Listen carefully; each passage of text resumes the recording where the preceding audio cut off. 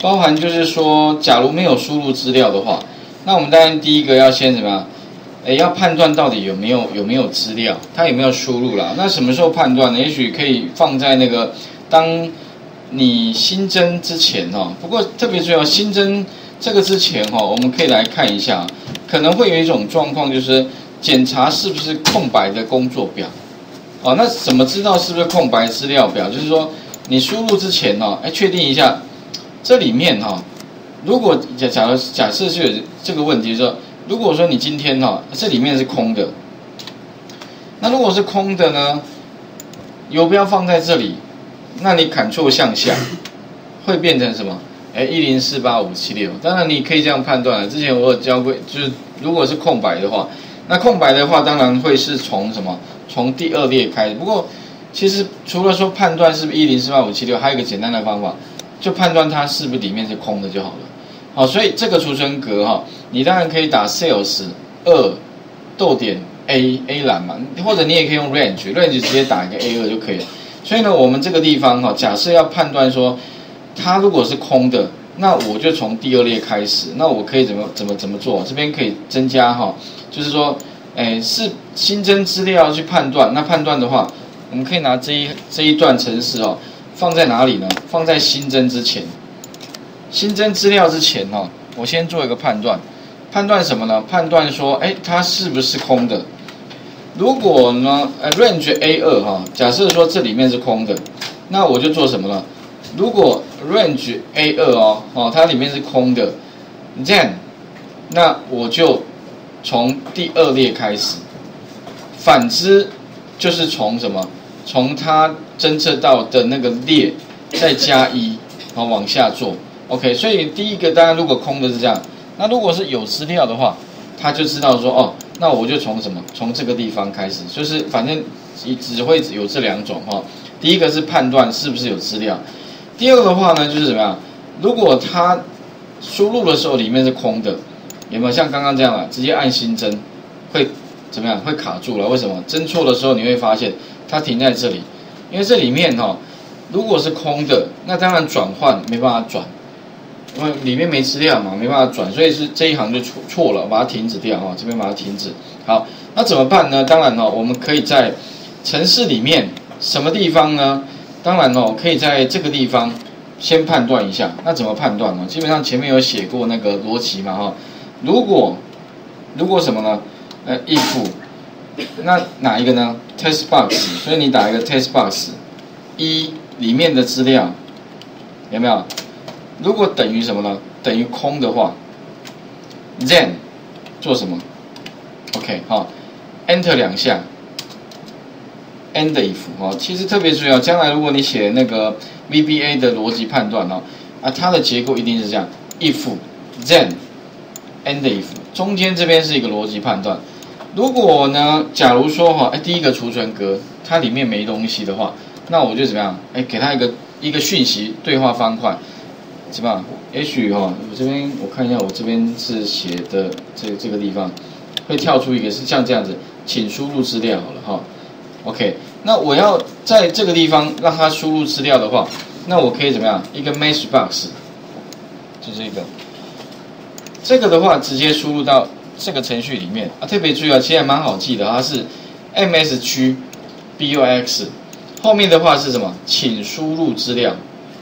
那请输入资料之后哈，特别注意哦，因为它已没有输入资料，所以底下程式你就不能继续再跑。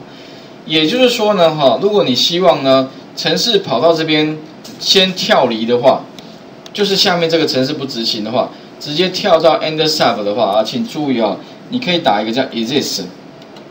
Sub 就是 is sub 的叙述意思是说，哎，到此为止，不要再往下走了。所以这里的话，把它执行，哎，那如果按新增有没有？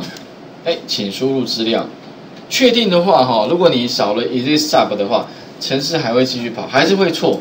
所以 is sub 直接跳到最下面就没事了。OK，好，is sub，OK，好。那当然哈，这个这个填的，假设这个这个填的，可是问题这个没填怎么办？啊，那还是会出出来，所以这个也要判断，这个也要判断，所以总共会有判断四个啦。那四个判断哦，其实就是，诶，这一个后面当然你不用说写一个，然后复制再贴贴，不用了啊，你就直接怎么样？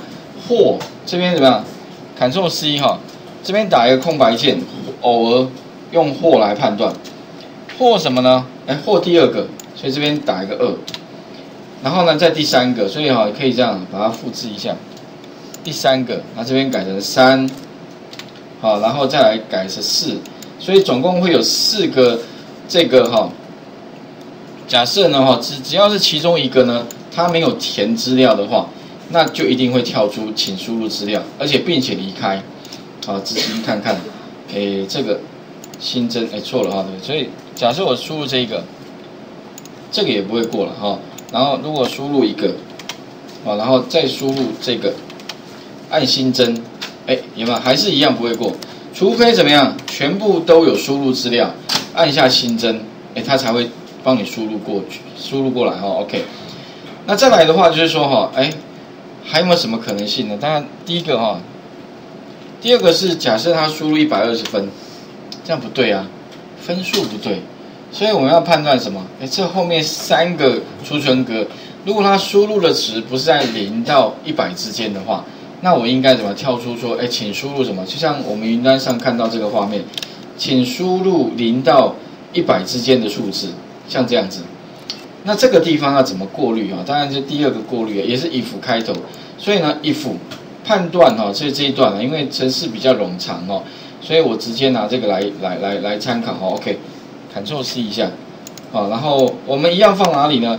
这个是 OK 的好，所以这个是判断如果没有输入资料的话。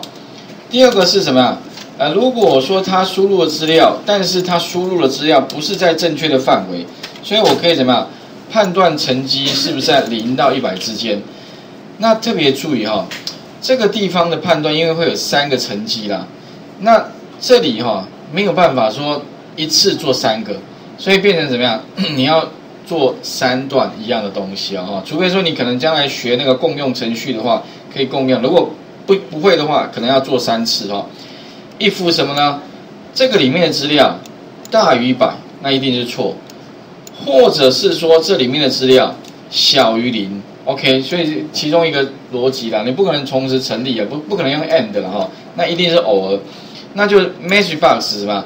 请输入零到一百之间的这个数字，然后呢，底下我比较贴心的做法是，因为既然它里面的资料是错误的，所以呢，干脆我把它里面的资料给删掉。那其实删掉最简单的方法是什么？丢一个空字串进去。那最后哈。后面这一行我本来没写了，不过同学会就有同学问说，老师那最后可不可以把游标干脆直接放在上面啊？因为你游标没放上去，使用者不知道啊，对不对？更贴心，游标放上。那游标怎么放上去？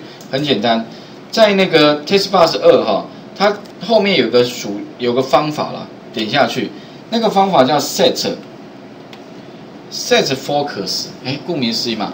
Focus 就是它那个焦点嘛，哦，Set Focus 意思是游标放上去。好，那一样的方法我们来执行给各位看一下。